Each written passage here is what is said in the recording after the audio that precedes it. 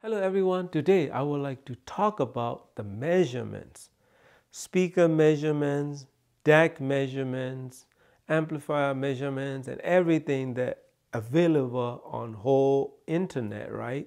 So things that they are doing is great. I mean like audio science forums and everything, they are great to have that kind of information that to know this equipment is measured this kind of distortion or jitter or whatever the measurement that they provide, that is a very good information to have for our benefits.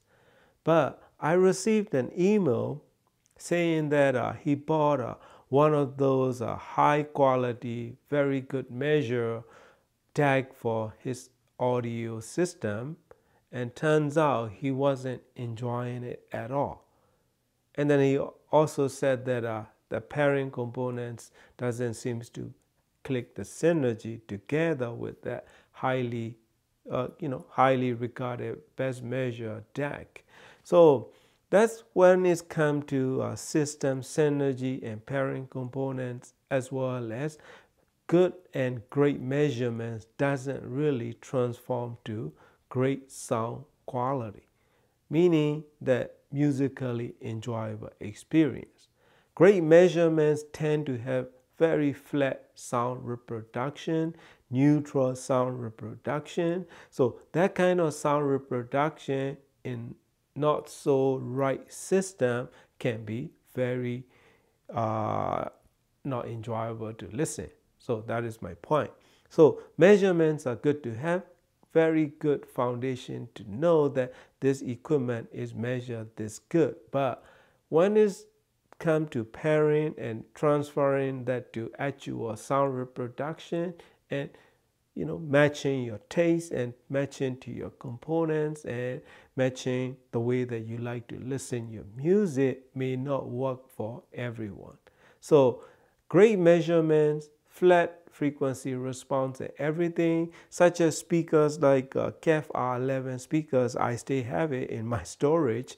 So that speaker is great sounding speaker with probably one of the best measure speaker ever created but they are enjoyable to some extent but they are not totally convincingly musical sounding speaker okay? For instance speakers like Harbeth or like DeVore Fidelity or they may not have a best measure performance but they are incredibly musical to listen so my point is great measurement or great measure components doesn't mean you will have real organic musical sound that you may want to hear. That's the, my whole point. So measurement can be have for basic information, not more than that. You should not be deciding or buying any components based on the measurement.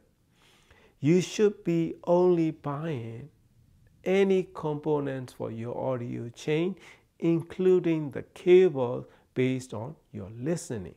Okay, in case if you wonder how am I gonna get that kind of uh, experience, okay, there is like a cables and component rent a place online that you can pay for, you know, rent it for a week or two or they have a different program that especially for expensive cables and components that you want to try. So those are the good option to have. And another great option is be friend with your local hi-fi retailer. Not necessarily a best buy or magnolia. What i mean is like a local regular mom and pop independent uh, audio shop that they will have a great service and probably they will even loan you cables and components to try it in your system.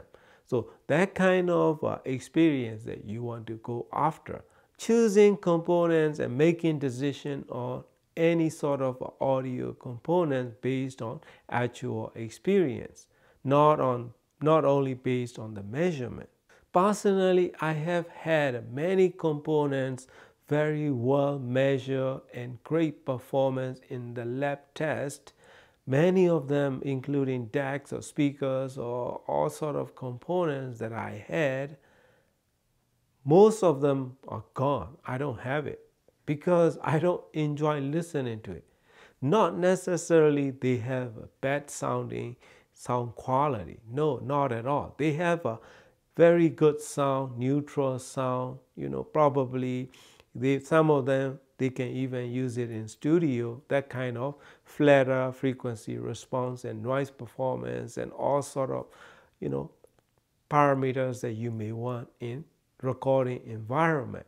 But when you enjoy your music, those kind of components can be very analytical, very and engaging to listen and less enjoyable experience. They have an accurate sound, but not organically accurate. Personally, when I try to buy a speaker, I look at the manufacturer provided anechoic chamber measurements and then I go listen to actual speaker if I can because that's the only thing that really tell you whole story if you really physically listen to the actual component. Please do not make any of your audio decision based on the measurements because different in sound quality is not measurable okay? All speaker maybe make it measure really nice okay? They can design that. But sound quality and sound actual sound reproduction is never be the same okay? So that's why you have to listen and we have to listen to actual speakers or even digital to analog converters and amplifiers. I mean pretty much everything in audio chain. Great measure DAC in particular doesn't really translate to totally organic sounding or sound reproduction in your system so my advice is make a friend with your local audio dealer and try to listen many components as you can and probably that will give you more exposure and more different perspective for actual sound quality. Please do not make your decision based on the uh, lab report and measurement alone because that gonna be. Probably if you are not picky but if you are only looking for that kind of transparent sound quality that good to know the, this component have a great measure performance then uh, if you are that kind of personal i'm totally fine. That is your choice. But if you really care for real organic sound that you are after best measure especially in digital to analog converter cannot provide that or most of the time they don't really translate to really really great sounding component okay? They don't sound bad they are great component but they may not suit well for each person that is what i'm saying.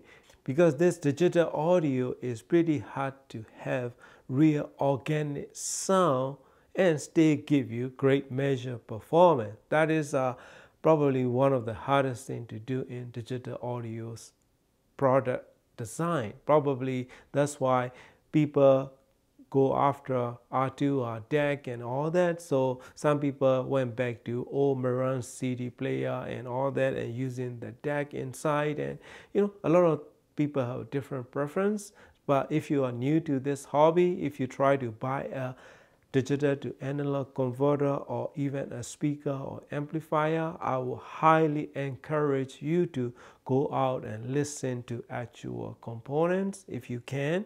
So whatever the reviewer said, whatever the measurement said, doesn't matter. All your decision should be based on actual listening experience and see which component suits your taste best and in your system if you can try that home.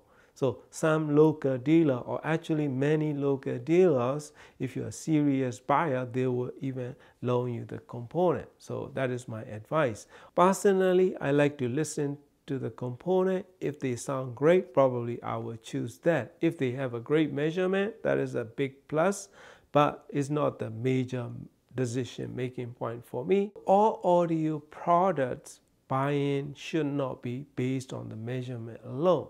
Most of them are you have to buy based on the actual listening experience.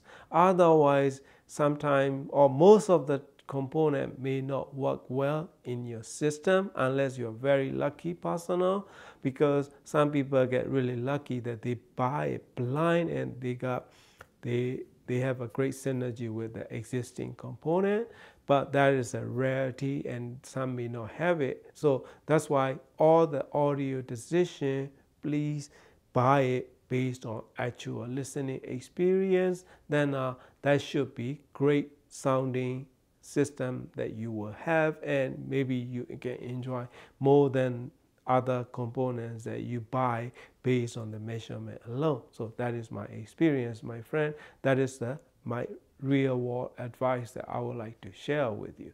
Thank you very much for watching and happy listening.